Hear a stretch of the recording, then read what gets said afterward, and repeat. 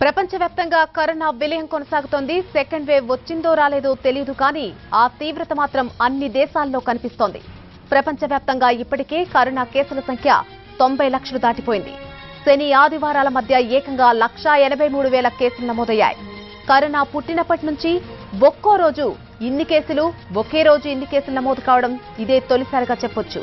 అత్యధికంగా బ్రెజిల్లో యాభై నాలుగు వేల ఏడు వందల డెబ్బై ఒక్క కేసులు అమెరికాలో ముప్పై ఆరు వేల ఆరు వందల పదిహేడు భారత్లో పద్నాలుగు వేల ఎనిమిది వందల ఇరవై ఒక్క కేసులు నమోదయ్యాయి.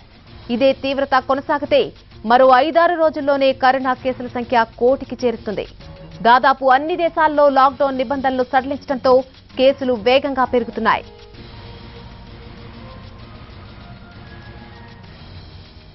ఇప్పటికే ప్రపంచవ్యాప్తంగా నాలుగు లక్షల డెబ్బై వేల మంది కరోనాతో ప్రాణాలు కోల్పోయారు. గడిచిన ఇరవై నాలుగు గంటల్లో అన్ని దేశాల్లో కలిపి మొత్తం నాలుగు వేల ఏడు వందల నలభై మూడు మంది చనిపోయినట్టు ప్రపంచ ఆరోగ్య సంస్థ ప్రకటించింది. అమెరికా బ్రెజిల్ దక్షిణాఫ్రికాతో పాటు లాటిన్ అమెరికా దేశాల్లో కేసుల సంఖ్య పెరుగుతున్నట్లు జాన్ హాప్కిన్స్ యూనివర్సిటీ చెబుతోంది.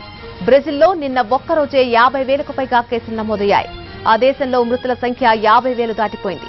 అమెరికా తర్వాత బ్రెజిల్లో మరణాలు ఎక్కువగా ఉన్నాయి. మరోవైపు ప్రపంచవ్యాప్తంగా నలభై ఎనిమిది లక్షల నలభై ఒక్క వేల మంది కరోనా నుంచి కోలుకున్నారు. కరోనా కేసులు పెరుగుతున్నా దాదాపు అన్ని దేశాలు లాక్డౌన్ నుంచి ప్రజలకు విముక్తి కల్పిస్తున్నాయి. స్పెయిన్లో లాక్డౌన్ ఆంక్షలను పూర్తిగా తొలగించారు. దేశంలో ఎక్కడి నుంచైనా ఎక్కడికైనా ప్రయాణించేందుకు ఆ దేశ ప్రభుత్వం అనుమతిచ్చింది. ఐరోపా దేశాల నుంచి వచ్చే పర్యాటకులకు పద్నాలుగు రోజుల క్వారంటైన్ నిబంధనలు కూడా తొలగించింది. ఇంగ్లాండ్ ప్రభుత్వం మాత్రం ఆంక్షలను కొనసాగిస్తోంది. లాక్డౌన్ విషయంలో విమర్శలు ఎదురవుతున్నా బోరిస్ జాన్సన్ ప్రభుత్వం మాత్రం ఆంక్షలను పూర్తిగా తొలగించడం లేదు.